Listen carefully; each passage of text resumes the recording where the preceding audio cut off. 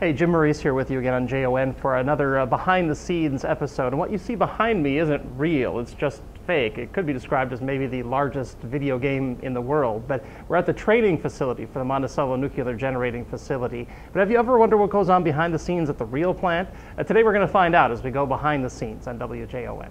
The first thing you'll notice when you drive up to the facility is the high level of security. No one gets onto the grounds without prior approval. All vehicles are inspected and your personal credentials are checked and rechecked repeatedly. We'll take your identification, we ask you for your social security number.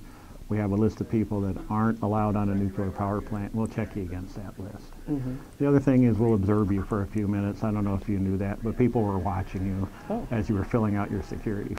Getting inside the nuclear reactor itself requires going through another secure area similar to what you would see at an airport.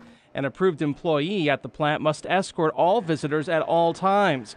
There's also a heavy presence of armed security guards constantly standing watch. Uh, they were watching me watch you. Okay. They were making sure I observed the proper precautions for bringing visitors in. Mm -hmm. A three foot thick wall surrounds the nuclear reactor, which eliminates the threat of a plane being flown into the facility. Another key component is safety.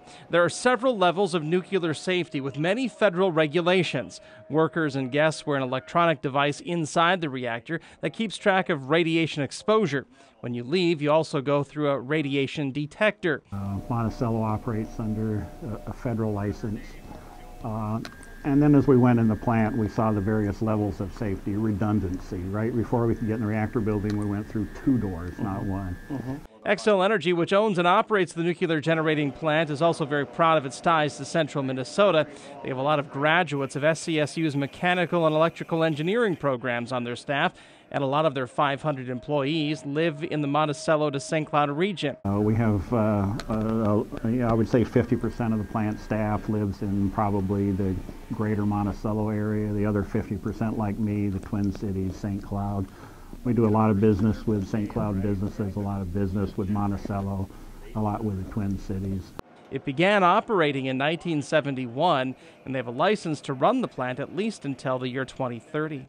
Jim Maurice, WJON News.